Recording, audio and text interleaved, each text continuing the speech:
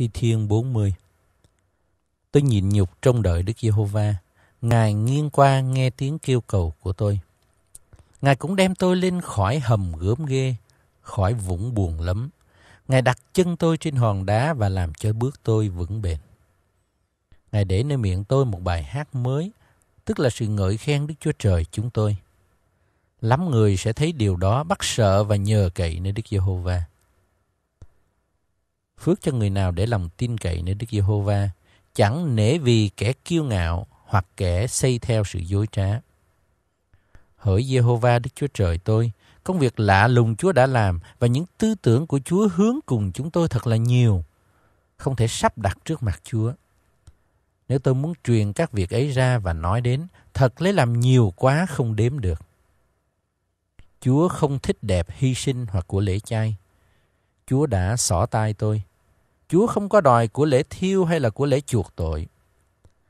Bây giờ tôi nói, này tôi đến, trong quyển sách đã có chép về tôi. Hỡi Đức Chúa Trời tôi, tôi lấy làm vui mừng, làm theo ý muốn Chúa. Luật pháp Chúa ở trong lòng tôi. Trong hội lớn, tôi đã truyền tin vui về sự công bình.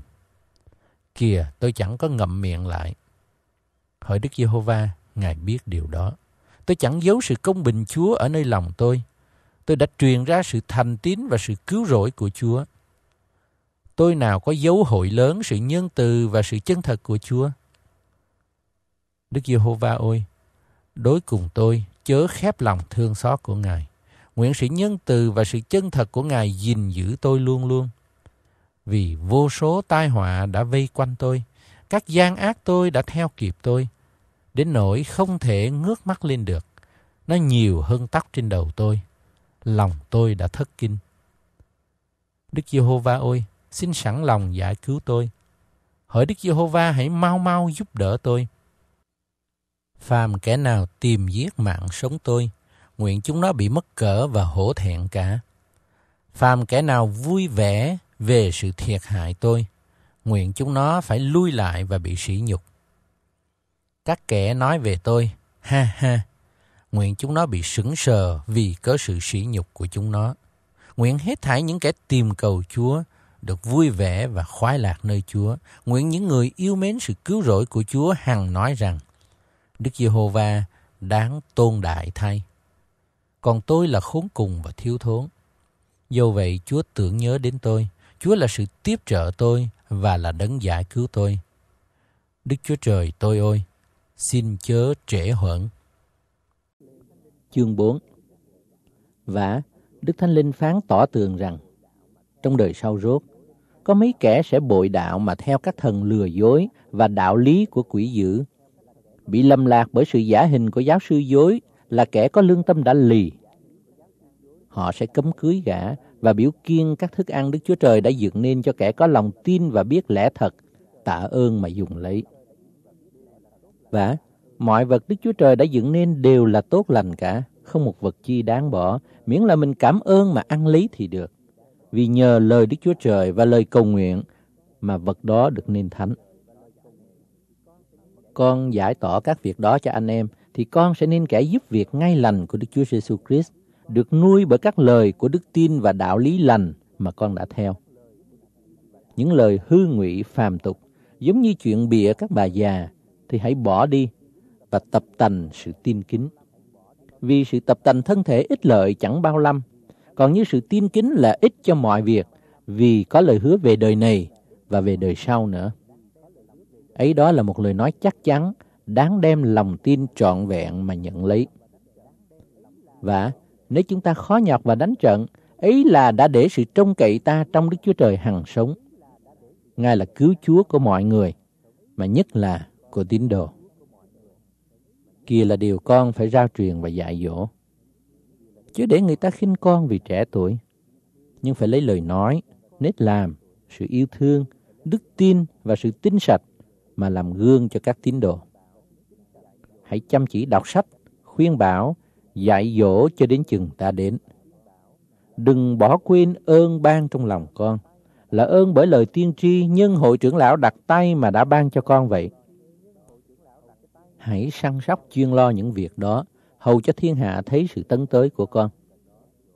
hãy giữ chính mình con và sự dạy dỗ của con. Phải bền đổ trong mọi sự đó, vì làm như vậy thì con và kẻ nghe con sẽ được cứu.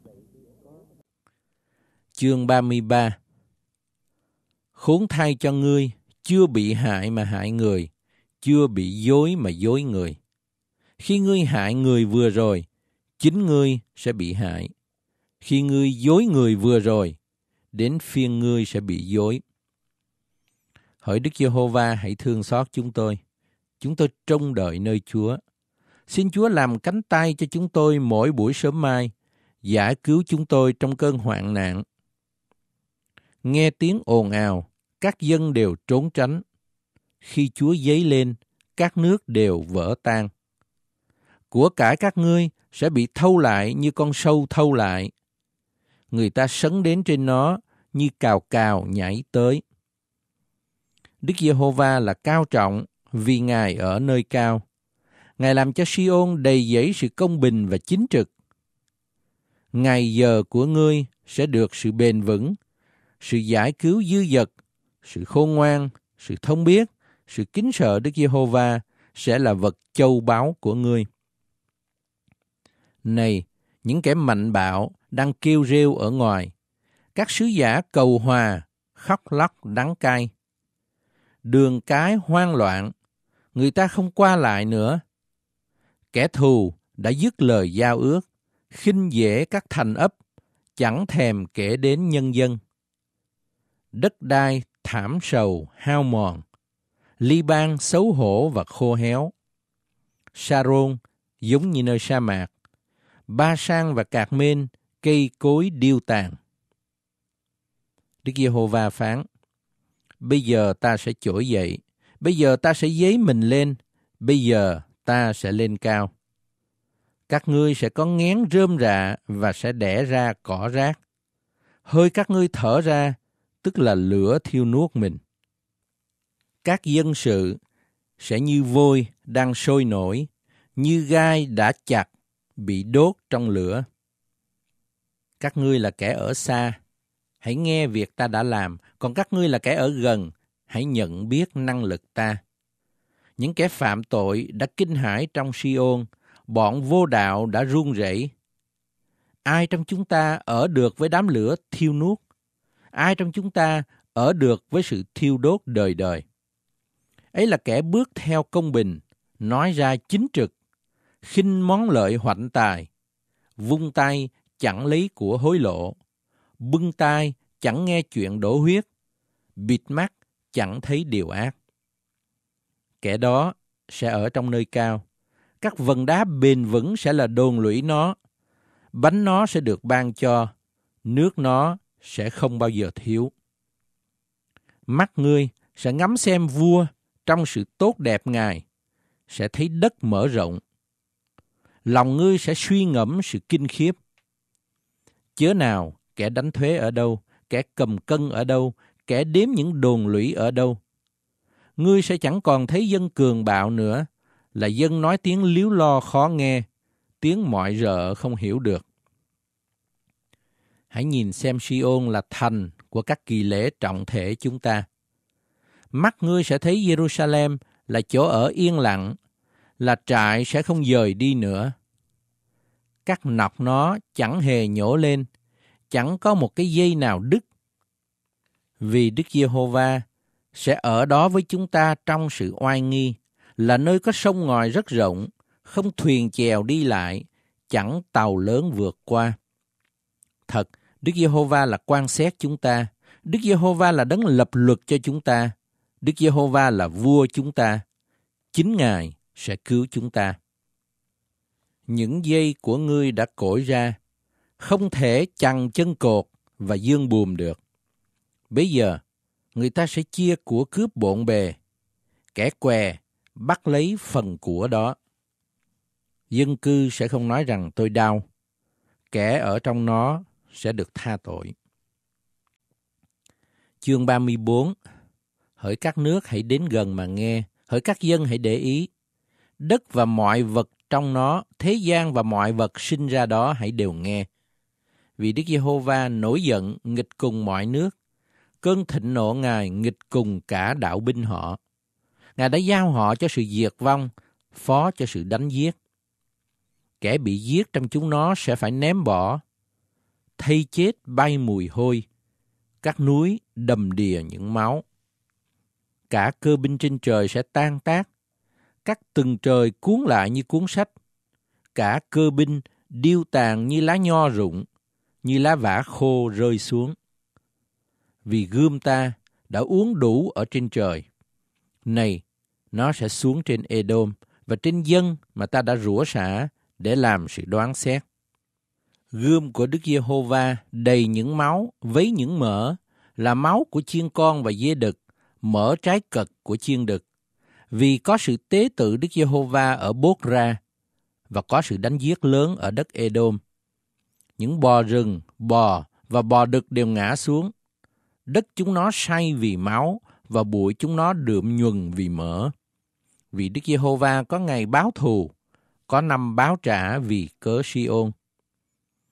Các khe suối Edom sẽ biến thành nhựa thông, bụi đất nó biến thành lưu hoàng, đất đai nó trở nên nhựa thông đang cháy. Ngày đêm chẳng tắt, hằng bay lên những luồng khói. Đất sẽ hoang vu từ đời nọ qua đời kia, đời đời sẽ chẳng có người đi qua. Bồ nông và nhiếm sẽ chiếm lấy đó. Chim cú, chim quạ sẽ ở đó. Chúa sẽ dán trên đó cái dây lộn lạo và thước thăng bằng trống không. Chúng nó sẽ gọi các kẻ sang trọng đến ngôi nước mà không có ai hết thảy các quan trưởng nó đều ra hư không. Gai gốc sẽ mọc lên trong lâu đài, chà chuông cỏ rác mọc lên trong đồn lũy. Ấy sẽ là hang của chó đồng và chỗ nghỉ của chim đà. Thú rừng và chó rừng sẽ gặp nhau tại đó. Dê đực kêu nhau. Yêu quái ban đêm loáng làm chỗ ở và làm nơi nấu nương yên ổn. Rắn roi sẽ làm ổ tại đó, đẻ trứng ấp cho nở và nhóm con lại dưới bóng mình. Sau nữa, những kên kên cùng nhau nhóm tại đó, trống và mái thành đôi. Hãy tìm trong sách Đức Giê-hô-va và đọc lấy. Trong những thú vật ấy, chẳng một con nào thiếu, chẳng một con nào là không đủ đôi. Vì ấy là miệng Đức Giê-hô-va đã truyền và thần Ngài đã nhóm chúng nó lại. Chính Chúa đã bắt thăm cho chúng nó và tay Ngài dùng dây chia đất này cho. Những thú vật ấy sẽ được đất này làm kỹ vật luôn và ở đó từ đời nọ qua đời kia.